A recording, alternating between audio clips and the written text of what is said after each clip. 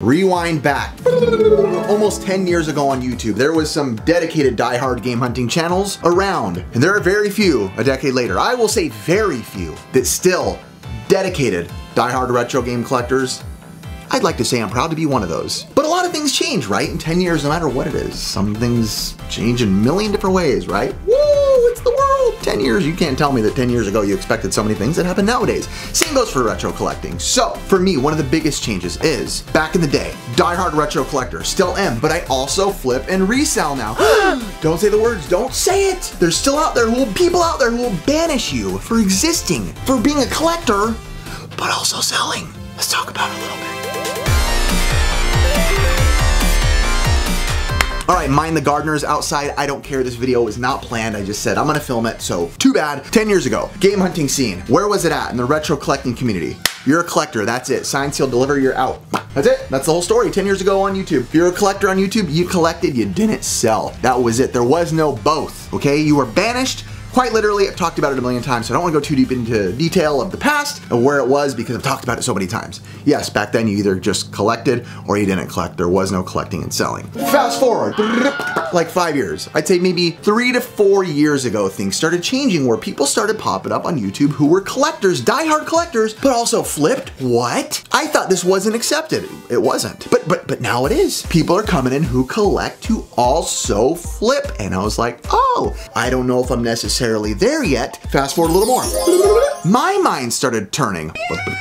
Like two years ago, I'd say maybe I was like, okay, I've seen too many people on YouTube do this. They're collectors, right? They're collectors at this point. Stop. Stop saying they're not. That's, that's stupid. Let me just be honest with you. People can still collect and resell and flip. Oh my, really? No way.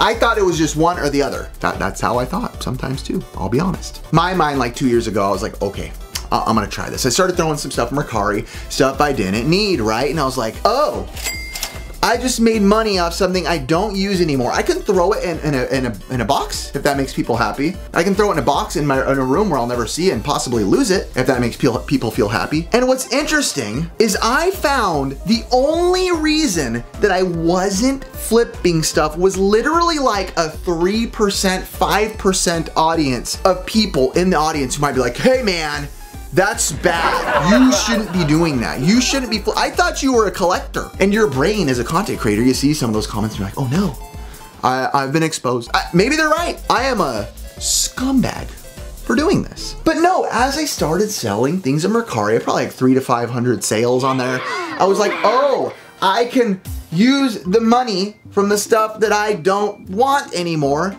and buy more of this. Again, or I can buy it on my family stuff, whatever I want, right? It's my money. That's America and other places too. But I was like, okay, this makes sense, this makes sense. But at that time, I still wasn't selling a lot. I mean, again, three to 500 sales is probably kind of a lot. Even then, it wasn't enough to really find myself buying like bigger, big items that I wanted. It was like enough just to keep my hobby going, which was great because for eight years before that, I was only spending like my family's money, so to say, you know, which I could afford it, I'll be honest with you guys. But at the same time, I was like, eh, well, I don't really like spending the money that could go towards this that, and put it there. Instead, I'd rather save and invest. That's just how my brain works. Buy a home, buy multiple homes, whatever it may be. So with that said, Whatnot came along. Ooh, I know some people don't like the word. Oh, Gary, it's mean. Uh, people are bad on Whatnot. Oh, God. Can't get a deal on Whatnot. It's not possible. Wrong. Gotten good deals. And I've gotten myself overpaying on stuff too because I got excited. Wait, personal responsibility?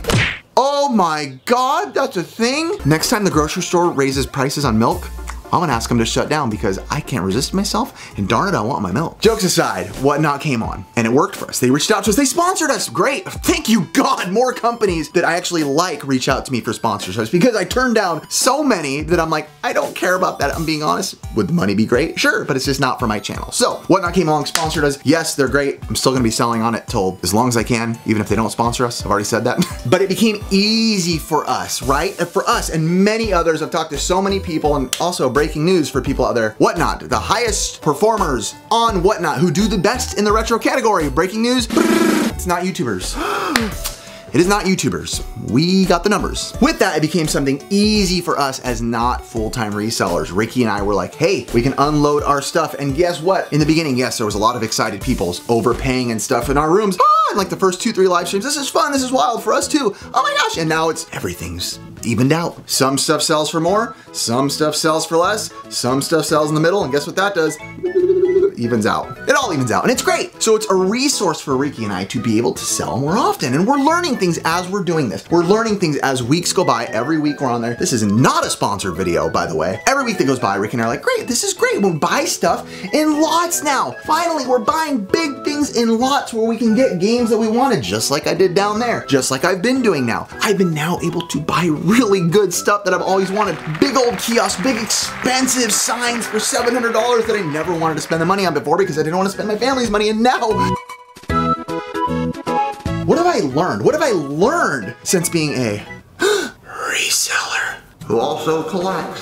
First, thing I never knew about resellers. This is something that hit my head and I was like, I never thought about it that way. When you see someone on a platform, Mercari, eBay, whatnot, all these different things, it's like when someone's like, dude, I sold it for 40. My brain's like, yes, I sold this, they sold that for 50 bucks. They made great money. They bought it for 40. They made $10. No, they didn't. They paid for fees. They pay taxes. They take their time. Time is money. And shipping materials. Probably broke even. You have to have a pretty good margin. I've learned. I didn't think about this in the beginning, but as time goes on, it's making more sense. Okay, gotta get better deals, gotta get better deals. Because the people on the internet are like, dude, that guy, that guy is a scumbag. They bought it for 30 and I saw him saw it for $45 on eBay. I made like four bucks. And I didn't know this. I was the same guy doing the same thing. Sounds like I'm making fun of everybody, but same thing for me. Uh, it's in the same boat, about the same thing. Now I'm learning. Another thing I've learned, I always knew this, but definitely swap meets pay off swap meets, flea markets, going out there, putting in the grind, putting in the time because it's a new world out there. Not everybody wants to go outside. Let me, let's be honest. We've kind of in 2020, 2021, 2022, probably 2023 going forward, we're getting a little lazy. Let's be honest. Or hey, look, a click of a button. Hey, I can buy this from doing nothing. I can do this and do nothing. But that pays off for us because we're willing to go out there, go to the grind week after week after week after week after week after week after week for week for 10 years, putting in the time. So it pays off. This is like one of those things where it's like, yeah, you, you want to put out that time. People enjoy it. People like it. On Mercari, where I've been selling Mercari, OfferUp, and whatnot, pretty much the only places I sell stuff, people are like, thank you for finding this stuff because it makes it easier for them. They're not spending the gas, the time, the effort, the energy, making things easier. That's what the world is kind of about right now. We're on that, that trend of how to make things easier while, while doing less. That's what I've learned. The swap meet pays off. Another thing I've learned in this journey of being a hardcore collector to now being a hardcore collector, but also someone who resells pretty often basis now. No matter what you do, no matter how you collect, let me tell you, people are gonna hate. That's life. There's a reason I deleted Facebook, Instagram, Twitter, all that stuff years ago, five years ago. People hate no matter what you do. All you can do at the end of the day, and I tell this as big advice to people, no matter what you do, at the end of the day, if you can go to bed, the end of the night, alone, close your eyes and think to yourself, did I do the right thing? Am I doing what makes me happy? If the answer is yes, then guess what? You can feel good about yourself. And that's really all that should matter. Really, the only minds that should be speaking into your brain about the right thing should be you your family, and your friends, and those who love you and care about you. Though those that are causing noise, it's simply background noise. And you know what? There's a way, a healthy way to disagree. There's so many people I disagree with on the internet right now. With everything. But guess what? How I disagree. Right on, bro. You do you. I hope you're happy in the end.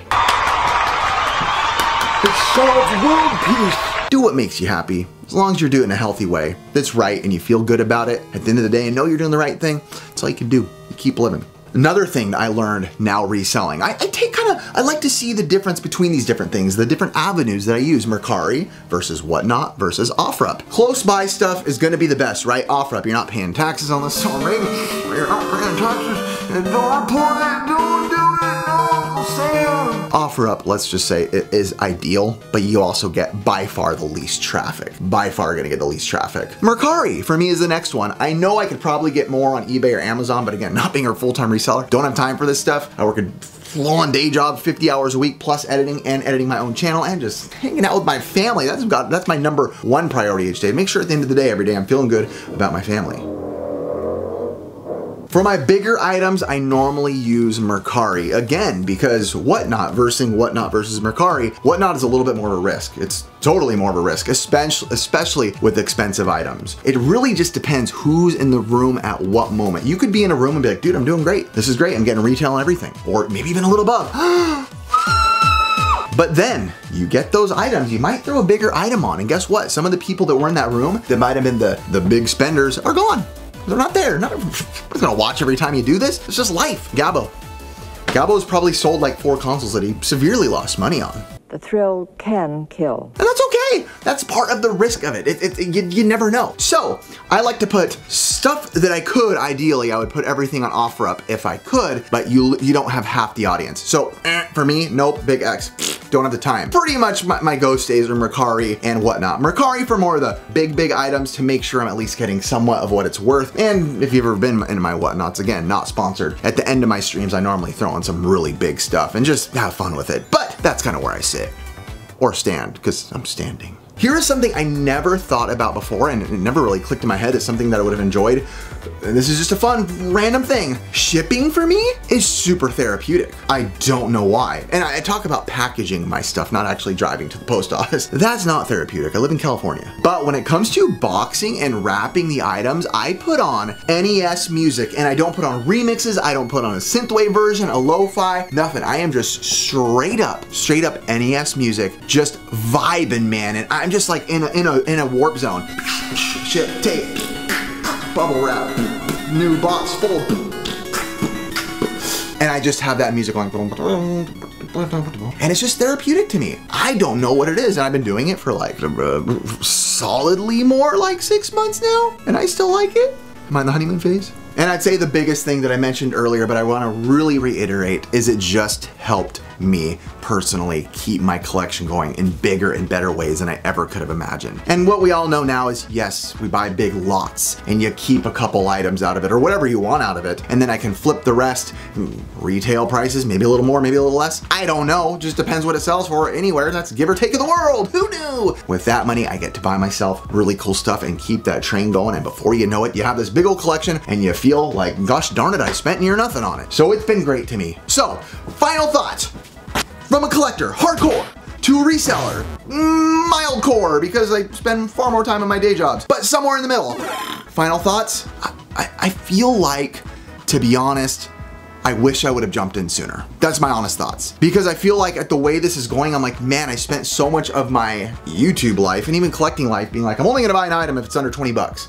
That's just how it is, man. I, I don't got, I don't got, I don't got the ability. Well, to be honest, I do have the ability to spend more, but I just didn't like to. You know, I was like, I don't want to spend more on this this stuff. It's just like, eh, I don't need it all. But the problem was, I would buy it and I'd go put it in a storage somewhere. Oh, let me go put it in a tote box and sit it in a shed and display what I could in whatever way I was displaying because I'm always change, changing my displays. And it just felt weird. That's why I'd buy little things at little bits of times. But now I'm like, oh, keep what I want, play what I want, and blah, blah, blah, with the rest. With that said, do I make sense? Probably not. Do I hate on the way you collect or resell or any of the things?